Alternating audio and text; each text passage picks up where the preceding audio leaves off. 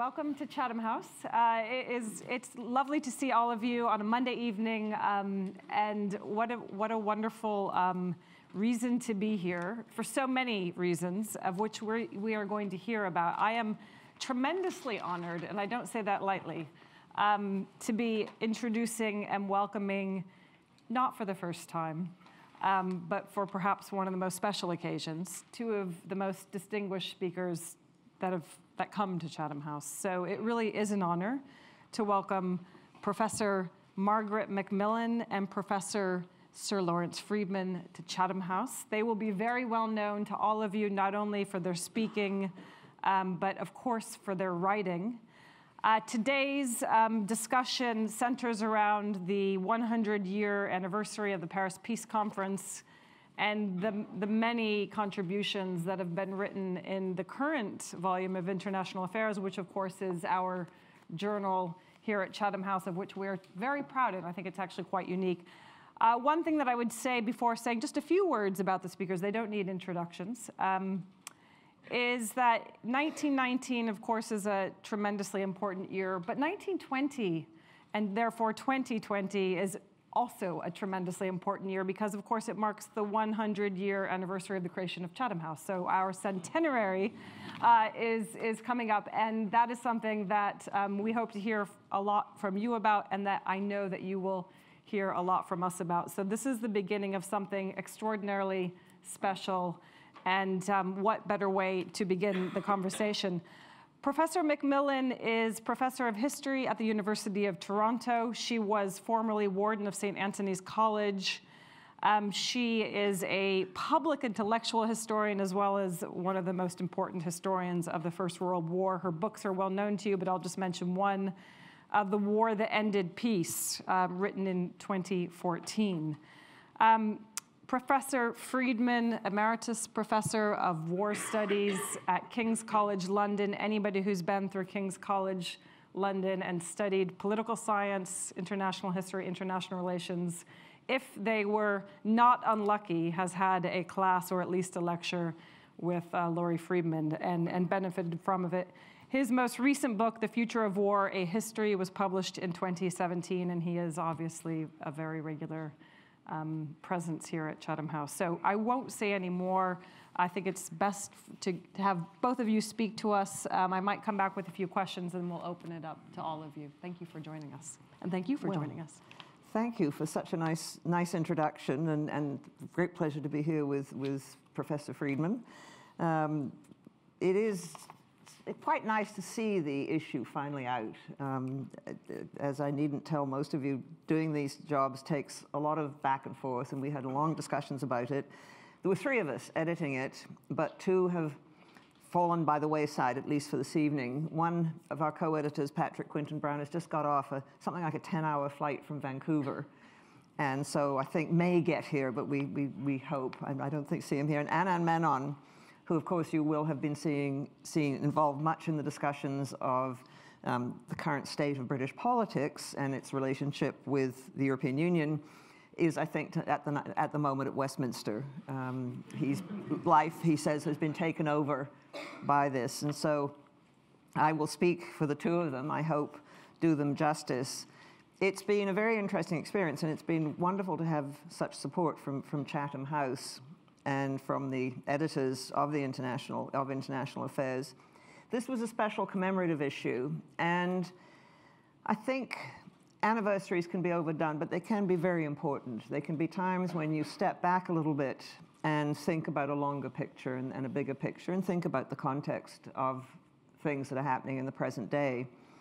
And we thought that 2019 was a moment to look at the whole century since the end of the First World War and try and see what had changed and, and what had remained the same. And I think we also had, as part of our purpose, to bridge what has sometimes been a rather unfortunate gap and, and, sometimes a growing gap between political scientists who specialize in international relations and international historians. We don't talk to each other enough. Um, international historians tend to think that political scientists have too much theory, and political scientists think we don't have enough. And I think we need to talk to each other. I think international political, political international relations done by political scientists needs to have an awareness of history And historians need to have an awareness of some of the great theoretical issues and some of the great debates that are taking place. And so we found this issue useful for that as well as, as thinking. And what we tried to ask, and we encouraged our contributors to do, and we tried to do ourselves, was look at what was comparable then and now, but also look at what is different. Because clearly the world of 2019 is not the same as the world of 1919. And, and we wanted to try and get out of our thinking what, where it had changed, but where things had remained the same. And that's always a difficult thing to do, particularly when you're in the middle of events. But let me suggest some of the things that we thought as we commissioned the articles and, and discussed them with the people who were writing them, we thought were perhaps the same as the period just before and after the First World War.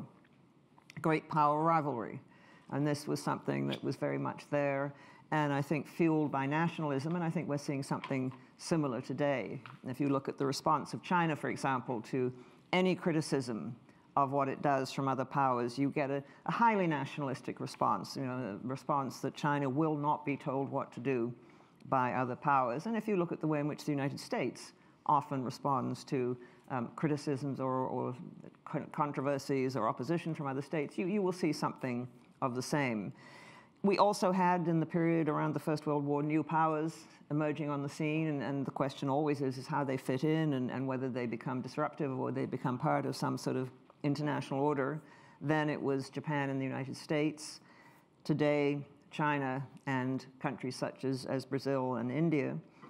The period 100 years ago was also one of great globalization. We, we tend, I think, naturally enough to think that what we're doing is new and exciting and has never been done before. But that period was a period comparable today in, in terms of globalization, including communications.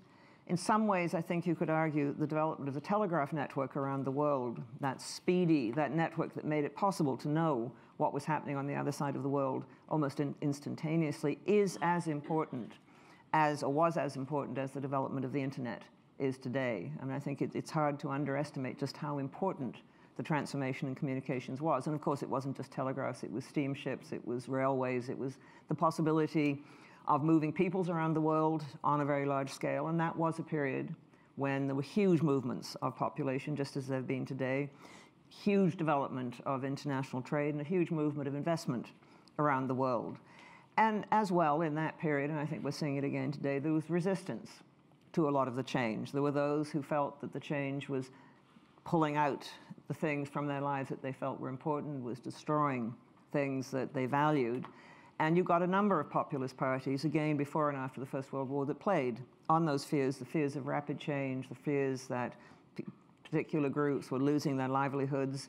In Vienna, for example, there was a political party, quite often anti Semitic, headed by Karl Lueger, who was the mayor of Vienna, which really appealed to the small artisans and shopkeepers whose livelihoods were being destroyed by mass industrialization and by the appearance of, of mass department stores. And there was, as now, a tendency to look for particular people to blame for the changes that were taking place and for the loss of livelihood and, and often for the, just simply for the loss of status. And so you got particular groups, often immigrant, immigrant groups, being demonized. In the period before the First World War, it was often Jews coming from Eastern Europe, moving into the big cities of Europe, moving to London, moving to Vienna, moving to Paris, who were blamed for some of the changes that were taking place that people found so disruptive. And I think there was a lot of questioning in the period, again, around the First World War about is all this happening too fast? What is happening to our society? Are the things that have kept our societies together being, being destroyed? Are we, are we facing um, an, an enemy? Are we facing social disintegration? And you had political parties appearing, like the ones in Vienna, but elsewhere, socialist parties or parties on the right, which often had, I think, legitimate grievances, often had real concerns they were expressing, but tended to attack institutions such as representative government. They attacked their own elites, they attacked capitalism, um, highly critical of the international order. And I think these are things that we're seeing today. But as I say, one of the difficult things is always to work out what has changed and what hasn't changed, and what is really new and what is really something that we have seen before. Among the changes, and I'm not sure my co-editors would agree with me entirely, but luckily they're not here. Among the changes, I think we are seeing uh, a world that's perhaps even more globalized than the one of, of 100 years ago. a world that is certainly more diverse, just at, at, at, the level of states. There are far more states playing a part in the international order than, than used to. There are far more players. And there are also probably, I would argue, more non-state actors. The role of non-state actors, it seems to me, has become much more important. And there are far more organized NGOs. I mean, NGOs existed, international NGOs existed, of course, around the time of the First World War. You think of the Red Cross, or you think of the, anti the great movement against slavery in the 19th century. But there are far more NGOs now, far more international organizations, both officials, uh, official and, and less official. I think there was an international public opinion, again, 100 years ago, but I think you would, I would argue there's more international public opinion today, and the possibility of mobilizing coalitions across borders and around the world is, is much greater than it was in the past. And we've seen new forms of international political organization emerging, both regional. I mean, the European U Union is unprecedented, really, um, I think, in European history, in a voluntary abdication of sovereignty where people accept a limitation of their sovereignty. This is not something they were forced into in an imperial way, but simply a limitation of their sovereignty.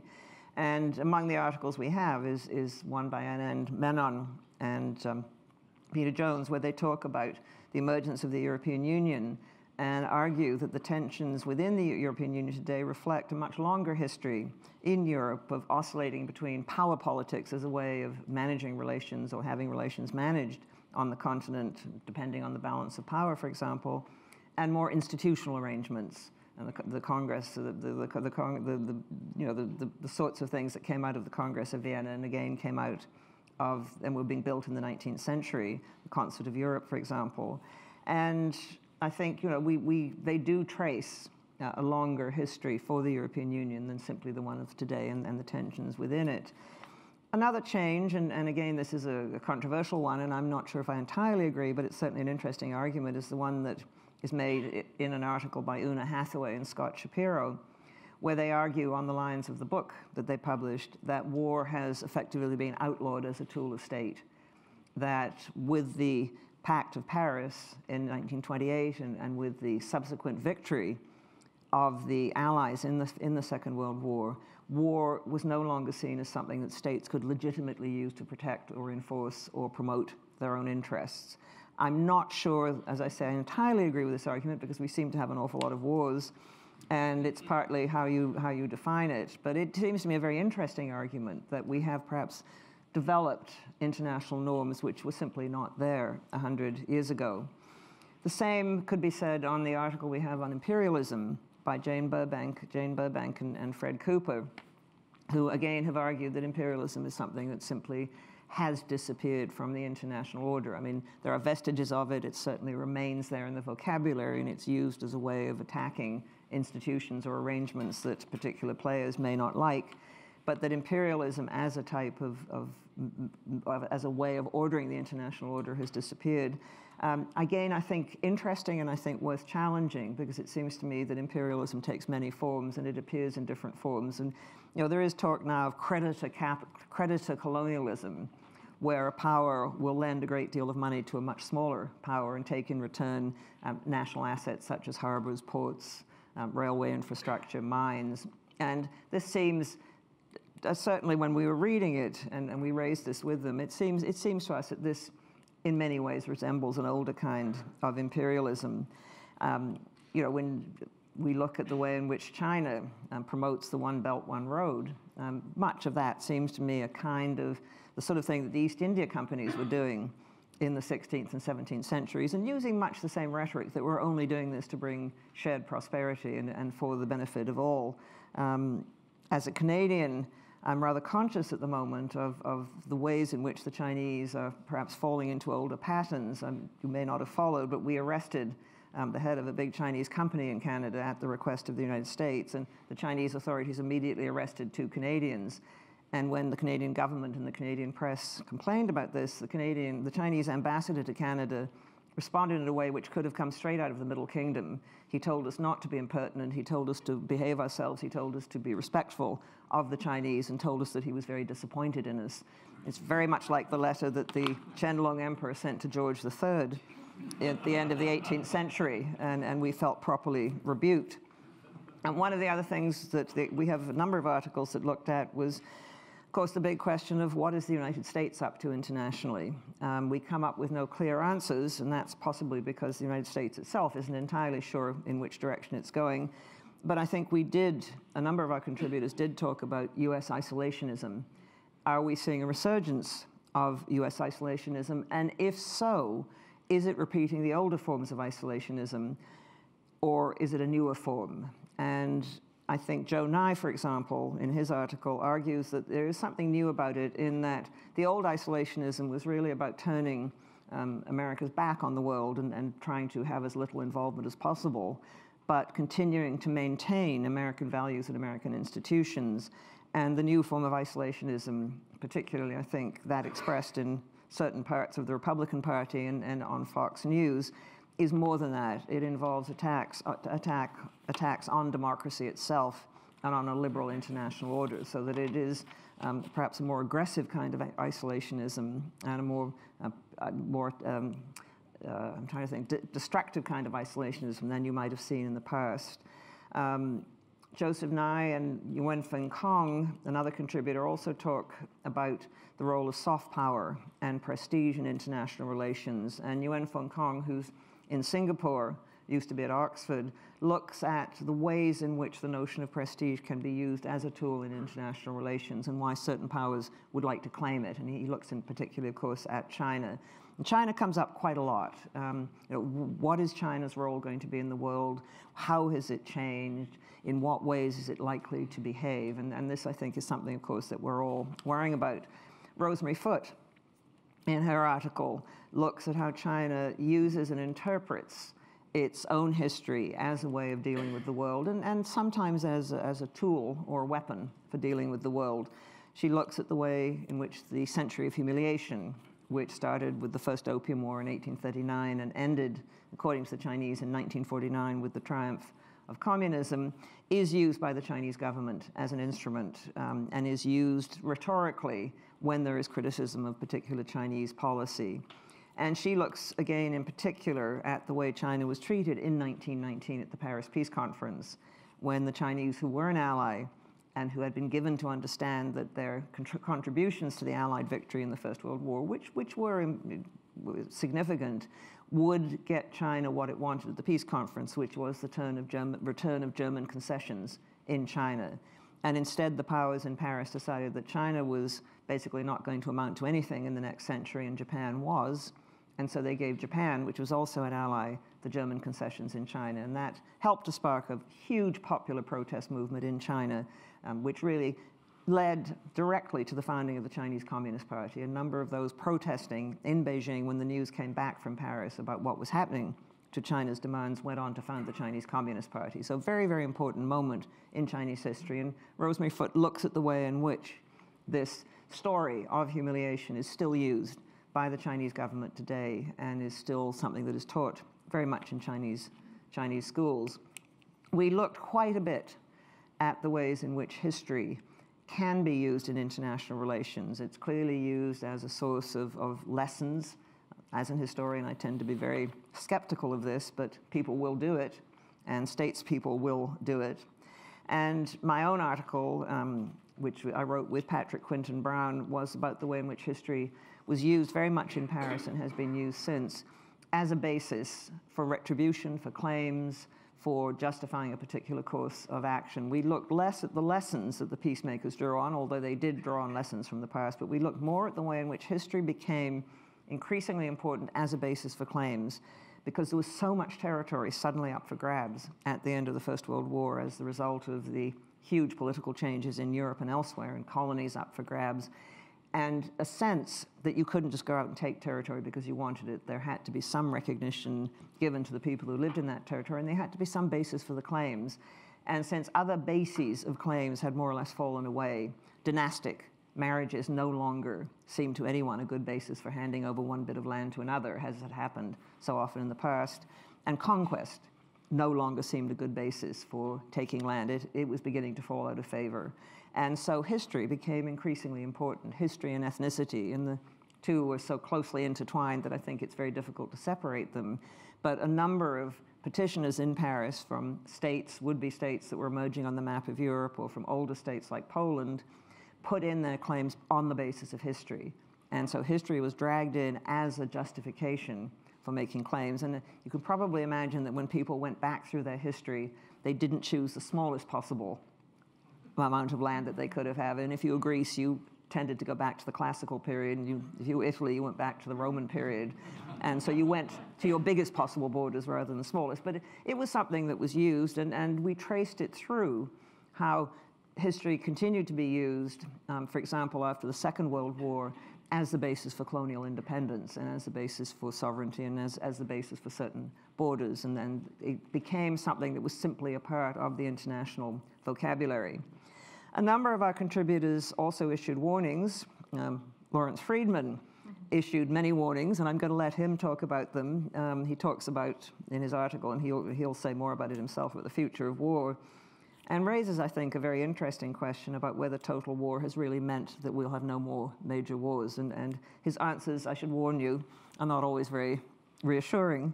Um, Barry Eichengreen wrote on the failure after 1919 to build and maintain an international trading order and a stable banking system, and what that meant for the 1920s and 30s, and again drew lessons with the period after 1945 and, and today. And I think this I like to think these articles taken together really help to show the value of looking at the history and, and helping us think through particular current problems. And perhaps I'll end on, on one of our more positive articles. I think I've, I've mentioned them all, but perhaps we need a positive message to end on. Uh, Glenda Sluga from the University of Sydney wrote about the growth of international ideas and norms after 1919. And she accepts, and I think we'd all have to accept that they didn't always come to fruition in the way they were expected to. The League of Nations was an idea which didn't do all that had been expected of it, but it was an important idea. It helped to embed certain concepts in our international discussions. The idea, for example, that, man, that former colonial territory should not be handed out as spoils of wars, but should be made mandates under the League of Nations. And you can argue that it was a completely cynical act that the great powers, Britain and France, simply took what they had wanted, but they had to do so under the League of Nations. They had to, at least on paper, take into account the well being of the peoples who lived in those territories, and they had to file reports every year to the League of Nations. And so she would argue that certain things began to be expected in international relations, which became part of our vocabulary and became part of our discussions, and that this was a positive step forward. And so I think, on the whole, if you read the issue, you won't find it full of um, optimism. But I think you will find a sense that we have moved in some ways um, a long way and in some ways into a better world, that there are very important things that have changed, and that we need to now, as we look ahead, remember what those things are and, and, and continue to, to ask ourselves how we maintain the things which we have of value from the past at a time when there is considerable turbulence and, and considerable considerable number of question marks over where the world is going. And so I will now turn to Professor Freedman, who will cheer us all up by talking about the future of war. Lawrence. Thank you. Yeah.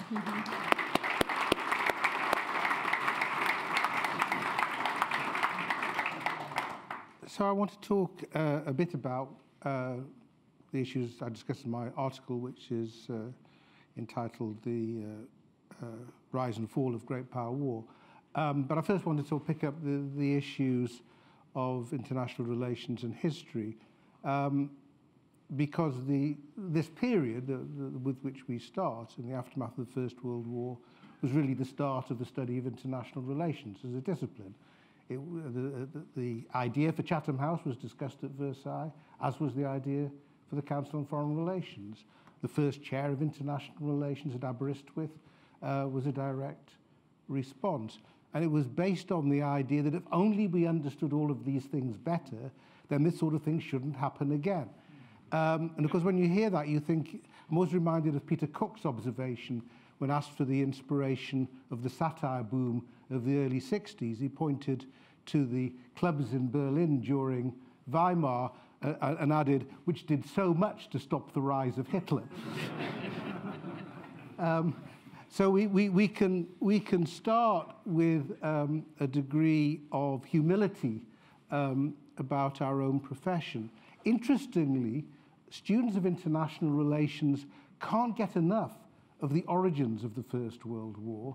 They, they return to it time and time again, partly because it just isn't settled enough yet. So, so there's endless possibility for experimentation with new theory. They spend very little time on the aftermath. Uh, there, there aren't great international, well, I mean, there are works, but, but uh, there are works of international history, but not uh, of IR theory. IR theory is dominated by the origins of the First World War, Munich, the Cuban Missile Crisis, uh, and now post 9 11. Um, and there's a sort of poverty of case study um, because uh, unless you, all of these things, there's lots of information now, so you can go back to them. But what you don't have, and I think what this volume of this uh, edition of International Affairs is good at, is a sense of the stream of history, of, of context, how one thing leads to another, how you can't understand um, these issues without knowing what went before. And that uh, which are issues of causation, uh, but the complexity of causation because um, there's never one simple thing that leads you to where you are. And, and historians, of course, always like to point out um, the factors of chance and personality and so on that make a difference. Uh, but it isn't just that. I think, I, I think uh, unless, uh, for the reasons that Margaret has just given in looking at uh, the arguments that took place around self-determination um, uh, at the time of Versailles and afterwards, history is very important in shaping people's sense of what is right and proper, uh, and also the question of norms. Um, the, uh, uh, and Margaret also mentioned and, and, and, makes this point strongly in, in her concluding essay with Patrick, um, there's a particular feature of the end of the First World War, which when one goes back to try to understand the rise of Hitler, obviously Versailles is often blamed for this and reparations and um, the, the determination to put blame on, on, on Germany. It's, it's one factor, obviously not the only. Another factor is the fact that Germany wasn't conquered. Um, the, there was no real sense of defeat. Um, in the, the, which gave rise to the uh, stab in the back theories. Um, and uh, it, it, one of the features of the First World War, and goes on to one of the points I try to make in my essay, is that it didn't make as much difference as you might think it should have done to thinking about how to conduct war. Um, the pre-war, pre-First World War thinking um, about warfare uh, had been dominated by the idea of a decisive battle. Uh, I think very shaped by the, uh, uh the German victory uh, in 1870, somewhat forgetful about what happened after the German victory um, in terms of the uh, French resistance, um, but very concentrated on von, von Moltke's achievement in getting a decisive battle. Um, and a decisive battle should lead to a decisive victory. It had political consequences. And that's clearly what the uh, German General Staff was banking on um, at the start of the First World War. It's equally clearly what they didn't get. But the war ended, you could argue, with a decisive battle. It just wasn't a German victory, it was an Allied victory. Uh, German, the, the, German forces surrendered because they'd lost, um, because the Allied offensive was too much for them after their own offensive had failed. So the idea that war, that, that, that great issues could be decided on the field of battle was not killed off by the First World War. Um, it carried on. Now, of course, what also came with this, but I don't think was fully appreciated um, quite at the time of Versailles, though the, papers were being written and the books were being written at the time, was the influence of air power. Um, because that had made brief appearances, but significant appearances during the First World War. And most important appearances had been in tactical uses. And it, to me, it remains an interesting question if the tactical role in scouting uh, uh, and occasional su combat support uh, had dominated uh, air power thinking at the time, we might have been avoided quite a lot of distress later. But the idea that enemy morale was a quick route to victory uh, became uh, the, the, the, founding belief of air power. Uh, interestingly, not as strong in Germany, though they were the first ones to try it in the Second World War, uh, as it was in Britain and the United States, not to mention Italy, uh, which was the first country to have actually used air power to try to defeat an opponent. Uh, so you have, as a result of the First World War, a lingering belief in the idea that you can win these things by military means, combined with uh, uh, an, uh, a growing belief that winning now may involve civilian targets as much as um, military targets. Interestingly, when the Second World War came along, it actually, in many respects, once it got going, which obviously um, it, it, took a while to get going, but once it did, it was sort of the way that the, the, the Gen German General Staff wished it had gone in, uh, in 1914. Quick victories um, in the spring of 1940 that took out uh, key members of the opposing alliance. Um, with the same problem that probably would have emerged had they had the same experience in, um, in 1914, though one can't be sure, which is other allies were still there and hadn't yet given up, which is one of the problems with getting a decisive victory. Um, that was the point at which the Germans turned to air power and reinforced the idea um, that this could be a way to break morale. Though they failed to do it, uh, nonetheless, the British and the Americans still took up the idea, um, partly because there wasn't much else they could do uh, in, uh, in, until, uh, until Operation Torch and then D-Day. Uh, so it was a way of doing something to, to, uh, to show that the enemy was being attacked. Um, but it was still wasn't by itself bringing victory. So there's an interesting speculation to be had about what might have happened um, had the nuclear, the atomic bomb, not been developed right at the end of the war. Um, if you look at some of the uh, initial commentary on the atomic bomb, um, it becomes clear that whatever the lessons people thought had been learnt from the Second World War, they were pushed to one side uh, by the atomic bomb. Not actually in terms of the practice of what people, there were very few nuclear weapons around until, uh, until the end of the 40s. Um, didn't so much affect immediate plans, nobody expected a war. But the sense that grew, especially with the hydrogen bomb, thermonuclear weapons in the early 50s, that the next war really would be devastating, really would be too much, uh, seemed to me to be what, in the end, uh, killed off the idea of a decisive battle. Um, it, the more it became impossible to see how you would uh, survive a nuclear war, the condition of mutual assured destruction, which followed, I mean, that was recognized following attempts to work out how you could have a decisive victory in nuclear war, and they, and they were never credible, and still aren't, I don't think, um, that credible. That seems to me as important as anything else. And one reason why I'm cautious about the idea uh, of Hathaway and Shapiro uh, that it's norms that did it. I think common prudence did it, um, uh, may, or maybe a combination of the two. Um, war just became too dangerous for the great powers. And if you couldn't conquer anyway, um, and, and wasn't any, I mean, because of decolonization, which again seems to me as important again as norms, there wasn't much you could conquer, and conquering had gone out of fashion. War was unprofitable. Uh, where's the gain? So that's why I think um, you end up without major war, and we still, amazingly, uh, after so long, uh, after the Second World War, have, uh, have not had another major war, though we talk about it a lot.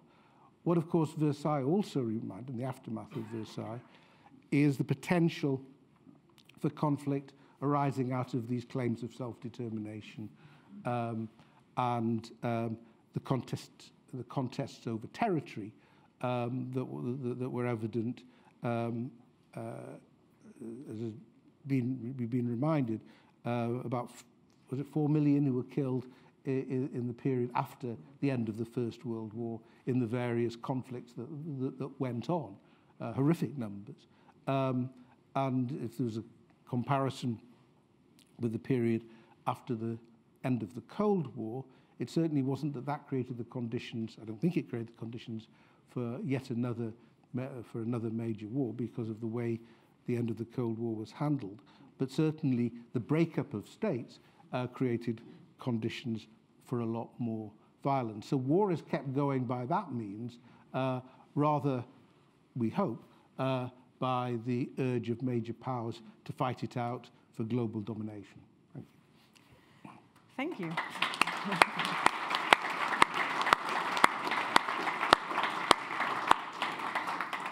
So you've, you've both done a tremendous job of putting so much um, on the table for discussion. Uh, I'm going to just make one quick point and then open it up because really there's an array of arguments. I, I almost wish that Oona Hathaway and Scott Shapiro were here so that we could disagree with them uh, with them in the room because I think so many they, they put such an interesting argument out there, but I find it almost impossible to to take it very seriously, and yet it's a very serious argument.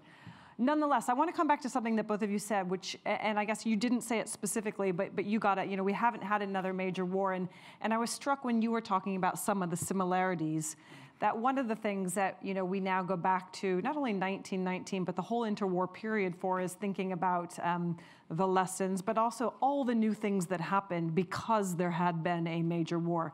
The new ideas, the new laws, the new institutions, even the ones that failed. And a lot of that's discussed in the volume. And so it seems like the, the, the, the, difficulty in talking about today in light of 1919 and the interwar period is that it's that, you know, this is the international relations claim, right? It's that fact of major systemic war which makes the bubbling of all these new possibilities um, likely to happen. And it's, you know, we are kind of stuck with these incremental adjustments. And actually, despite all the similarities that you set out, sovereignty, geopolitics, populism or illiberalism or a sort of backlash. Um, it's harder to grab at the positive things. I mean, one might say, you know, democracy's been uh, recharged as a result of some of the populist politics. If you look at the ACLU or different sort of, you know, Soros's injection of money into democracy across Europe, but nonetheless, it doesn't look like we have that cause, that positive wellspring of things that that one saw, even the failed ones, and, and the very successful ones like, like Chatham House. Um, but, but it doesn't seem like that's really there. And I guess Oona Hathaway and Scott Shapiro, in some ways, you know, is, is sort of an interesting argument to bounce off. But rather than having you to respond to that right now, I'll have you come back to that maybe. I think since we only have about 20 minutes, and we have a lot of very well-educated people in the audience, um, if you say your name and your affiliation, and, and, and the gentleman, we'll start with the gentleman here. Thank you. Nick Westcott at SOAS. That was fascinating. I wonder if you would agree that one thing that has stayed the same is human nature. And unless constrained by rules, uh, it will get out of hand, and that is a risk. And one thing that has changed is the role of ideology, which around uh, 100 years ago was primarily nationalist, which meant wars were between nations. Uh, now there is a different ideological driver, which means most wars are within nations or on an ideological basis, as you see in the Islamic State, and even political conflicts, you know, like Brexit is an ideological movement. It's anti-materialist, whatever. But so there's a significant change, and that means the nature of war has changed. Thank you. And then one more just over here in the front.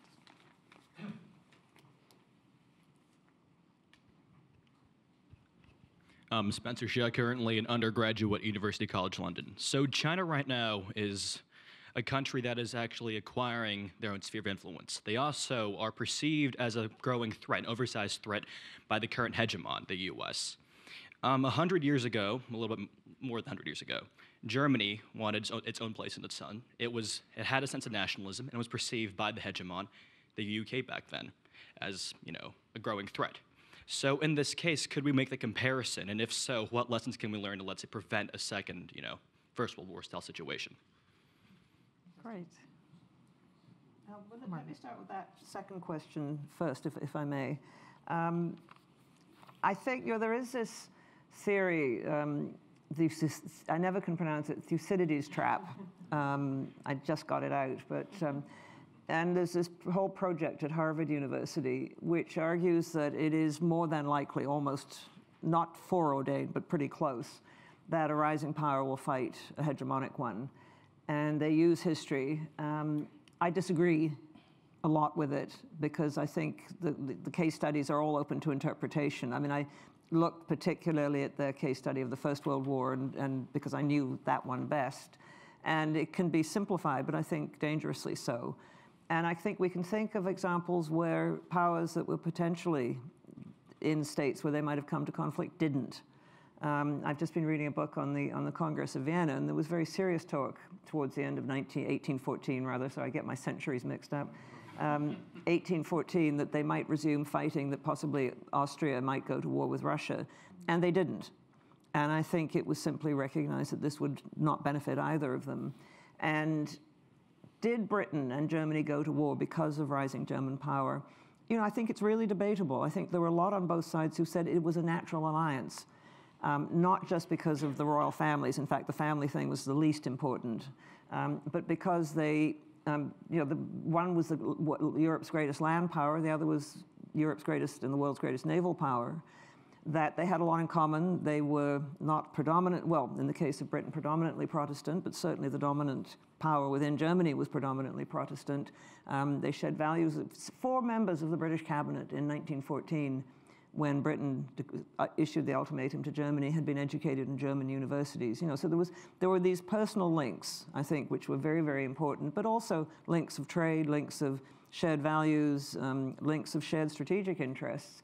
And so it is quite possible, and there were people certainly talking about it right up almost to the, the day that war was going to break out, about how Britain and Germany might sink their differences and, and actually come together. And there's a very interesting case which I think people don't pay enough attention to of the United States and Britain, because the United States was also a rising power before 1914. And there was seriously talk about war over the Venezuela border issue. You know, may have been loose talk, but loose talk can lead to war. And both Britain and the United States pulled back from the brink and came to a deal. And I think it is quite possible for great powers, you know, and I'm also find tricky. I mean, if you look, at, I've, I've been reading the Peloponnesian War again. Um, you know, it's very difficult to actually say which is the rising power and which is the declining power. They were powers in different ways. You know, power is not something you can measure like measuring uh, baking ingredients for making a cake. You know, what is it? What's it consist of? So, anyway, I'm sorry, I've gone on a bit long, but I'll, I'll let Laurie say more about um, the drivers of war and, and human nature. Um, well, Paul, I'll stick my knife into Graham Allison a bit as well. Uh, so there's, very, there's a lot of reasons to worry, and, and Margaret gave some of them, uh, about the implications of a rise in China and China's policy. The, the Thucydides trap is not one of them. Um, it's a misreading of Thucydides, um, a serious misreading of Thucydides. The case studies don't help. Um, they're, not, they're, they're not of nuclear powers, so they don't address that aspect um, of the issue. And why China and the United States? Why not China and India? Why not China and Japan? Um, and as you, you mentioned, um, the, the US and the UK, Kori Schake has written an excellent book uh, on why it didn't happen with those two countries, and she, she traces it, and uh, partly, this goes leads into the other question, uh, due to common values. Um, and the more alike they became, uh, the less likely it was that they were going to war. Now, that has been turned into some sort of great international relations theory, uh, like all great international relations theory becomes undermined almost at the moment it's propounded, uh, uh, that democracies don't go to war with each other. Uh, then turns out that, well, it depends if the democracy is in transition or not. Um, but the ideological element, the values element, does seem to me important. Um, and I think what it is is a tension between the universalistic values, liberalism, if you like, but socialism in its own way too, and nationalism, um, which, however you try to present it, uh, is, is, obviously going to be somewhat narrower. Um, and there's, that's a continuing tension. I don't think it's gone away uh, because you know not, it keeps on coming back and, and, and coming back at the moment in an even stronger form. It is one of the most powerful ideologies going, and therefore poses the challenge uh, of how you respect that and understand that without succumbing to it all the time. We did have John Mearsheimer here today talking about nationalism, so we're well schooled. Um, uh, gentleman here in the front, and uh, if you wait for the mic, and then right at the very back. My name is John Preston. Oh, sorry. My name is John Preston, European Section, Chatham House. Um, a phrase we're hearing a lot of now, but I think was used a lot back in 1919, was that of national sovereignty. To such an extent that Japan and Germany and others left the League of Nations. And I don't know quite what they did about the Paris conference because they said it stopped their national uh, sovereignty, but then they went on to do something pretty horrendous. We've now got, you've mentioned China, but we've got the democratic, highly regarded United Kingdom suddenly getting very sensitive about its national sovereignty. Is there something naughty going to happen after the 29th of March? Don't answer that yet. right at the very back. Ah, David Schofield, Murray Court Consulting. It's a truism, I guess, that history can give warnings to the present. And I was just wondering what warning you might draw from the events of 100 years ago if you were able to give a warning to, for example, the leadership of the United States, to, to, to, to name one country, if you could find anyone to listen. What warning, seriously, would you offer to the American administration from the events of 100 years ago?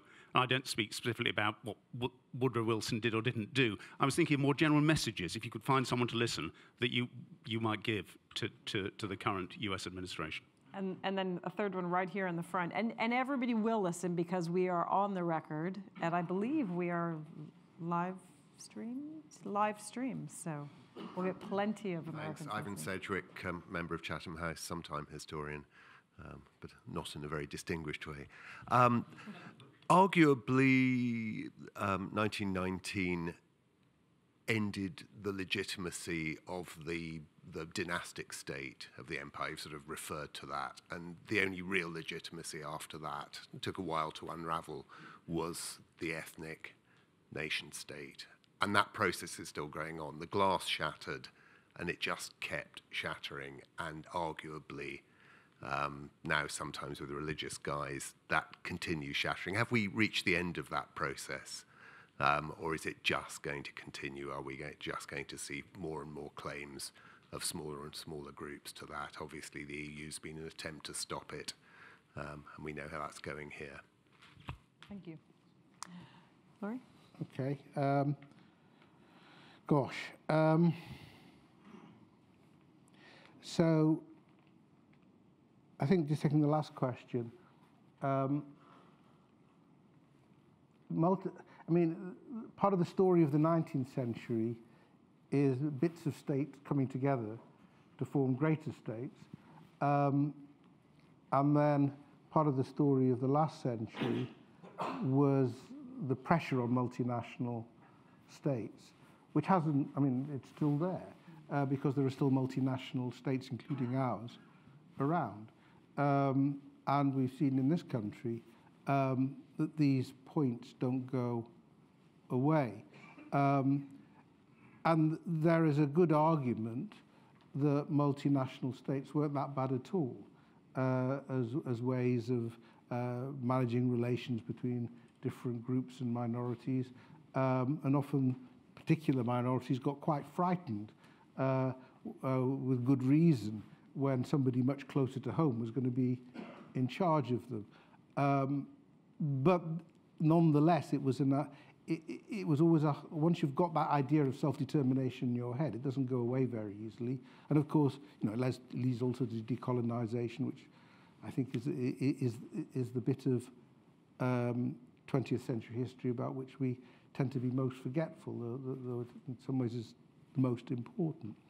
Um, so it doesn't, so there is a problem which is still continuing. And even China, uh, it's an issue for China. Uh, for India, it's an issue for the, the big states that we have. Um, it's still an issue. In the United States, it works out in different ways. So, uh, but obviously, they, they, they've been through that before. Um, and that is relevant to the, to the question of sovereignty. I think it's also a question of democracy. I mean, I think it's a question of who are, to whom are you, who is accountable to you? Um, and that is an issue with Brexit that, that, that has to be addressed. I think if you have a sense that the people doing things to you or for you or about you um, are not accountable to you, it, it is undermining. And however much one might try to demonstrate uh, the democratic character of the European Union, it doesn't quite work. So um, while um, there's a lot of mythology around sovereignty, in particular the idea that being independent means you can impose your will uh, with others, on others, which turns out not to be the case, as we may soon find. Um, uh, nonetheless, I think that the, the, there's an aspect of it which isn't just about nationalism, but is also about uh, accountability. Uh, two points, I think, just to, just to conclude. Um, first, um, in trying to work out, I mean, uh, like Mark, I'm very wary of the lessons of history, despite having spent seven years of my life trying to find lessons out of um, our last war. Um, the, because, uh, as Mark Twain didn't actually say, but it's a good phrase, uh, history doesn't repeat itself, it rhymes. Uh, uh, and, and, I think one has to be very careful. So I'm, I'm always nervous about the lessons of history. I think one point that, that, that we tend to forget, we're, we're trying, you know, all the reasons why uh, uh, the Third Reich appeared, um, and it's very hard to understand it without the Great Depression. Um, and therefore, if we're looking at our own recent history, the financial crisis of 2007-8, I think is easily passed over by people in our fields who are often, with the ex notable exception of Adam Tooze, um, not, often not very good at taking account of the economic dimensions uh, and the effect that has. Uh, so I think you know, one of the reasons why we're, we're still feeling a bit miserable and anxious at the moment um, is because the elites, the establishment, um, haven't had a very good time. Their, their record isn't great at the moment. Uh, and, and uh, that, that's important, and that partly explains why Trump is there. Uh, perish the thought that I should ever be asked to give advice uh, to President Trump. Um, I, whether I could find the right language to convince him of anything I don't know. Just, just end on, on one note. Um, I think Trump's instinct in international affairs, though I think as far as alliances and tariffs go, are really quite dangerous, um, are actually following a tendency in the American opinion and do reflect a reluctance, um, I think, to get involved in overseas wars. That doesn't mean to say he won't get involved in them because um, of, of, the way uh, pride and saving face and so on may matter to him. But I think it's, it, it, it, you can see this in a lot of the, the left wing commentary on Trump at the moment, uh, as they think he's terrible and vile and evil and corrupt and so on. But he does have a point when it comes to Syria and Afghanistan. Um, and I think it's just important to keep in mind that even someone like Trump is a product of his time um, and is reflecting tendencies. And therefore, the hope that you find in Europe um, that when he's gone, it'll all go away, um, it seems to me maybe a little bit optimistic. I, I know I'm supposed to be optimistic, but I, I'm not very good at it. Mark. Well, I think, I think your point, I mean, we're talking about two things here the sort of basis, what makes the basis of a state? And there was an idea, certainly a very powerful idea in the course of the 19th century, that there was something called the nation, which was separate from the state, but founded, became, was the underpinning for it. And a lot of very bad history was written to show that there had always been something called the German nation, um, which was the only people capable of defeating the Romans, for example. You know, the, the, whole one passage, tiny passage from Tacitus was taken to, to, to suggest this. Um, and lots of bad history is written to show that always been an English or British or Welsh nation. I mean, it's very possible to go back through history and pick out the things that um, make your case. But there was always a countervailing argument that the basis of a state was not ethnicity or not race, and the two were often used interchangeably then. And in fact, this was a very dangerous idea. The basis of the state was the acquiescence, willing acquiescence of the people who lived in it, and a certain acceptance of some shared values, but not all. And I think we still see that tension today. I mean, there is the argument that, you know, only Hungarians can be part of the Hungarian state, and, and it's being defined very narrowly at the moment by Viktor Orban and co. to mean only Christian Hungarians. Um, and, and I think we can all see where this has led in the past and is likely to lead again.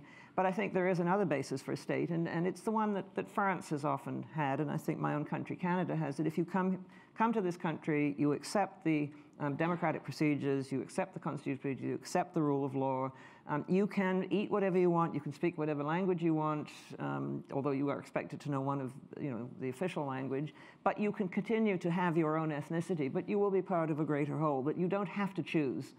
And I think that is a much healthier basis for a state. And I think national sovereignty is one of these ideas which also has tensions in it. And, and I think it had a certain origin in the 17th century where, where it was agreed finally in, in the agreements that made up the Peace of Westphalia that states would not interfere in the internal affairs of other states. And that was because of what had been happening. And I think we then began to breach that. Certainly, we always did breach it. But in the 19th century, with humanitarian crusades, with the attempts to stop the Ottomans, for example, from oppressing their Christians, we recognized that national sovereignty was not absolute and inviolable. And I think we have this tension again today. I mean, where does national sovereignty begin and end, and where do other values come in, and, and where do we have other things we ought to be doing? the way that the, the, the, discussion, certainly it seems to me, has been, national sovereignty has been used in the whole debate over um, the fate of Britain and Europe, is it's, it's, it's, it's posited as something that is good, but nobody quite knows what it is. You know, it's something people want, it's a nice shiny object. But when I talk to people who are for, for a hard leave, and they say, well, we'll get back our national sovereignty. And I say, what exactly do you mean? Because even North Korea doesn't have complete sovereignty. It has to deal with international agreements and it has to worry about its big neighbors and so on. You know, so it seems to me that it's become a sort of shorthand for um, what people think they want, and I'm not sure they really know what they want. Um, advice to, to President Trump I mean, I think as an historian, um, what I would say is that it is important to maintain your alliances, and alliances are not just pragmatic things that you happen to be going down the same path for two inches. Alliances depend on a lot of, of contact. They depend actually on a lot of history. They depend on personal relationships, but they depend on a certain amount of trust. And they are difficult to build and, and easier to destroy, and, and rebuilding them is not going to be easy. I think also what we're seeing, and this always happens, is we, we're seeing with the passage of time what people are remembering differs. I mean, one of the reasons we built up very strong international, uh, we in the West built up very strong international institutions after the Second World War economic and political institutions because the people who were building those institutions remembered what had happened in the 20s and 30s and why they needed them.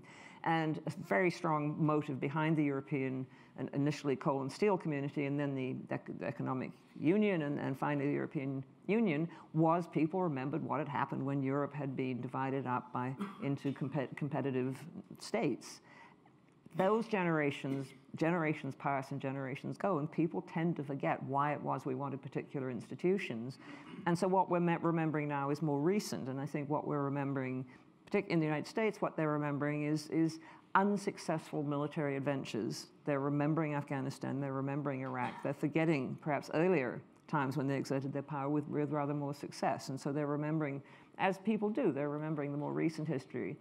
And I think we're getting now, of course, I think you're absolutely right that what happened in 2008 was far more important politically and socially than we, we, we're just beginning to realize what that meant.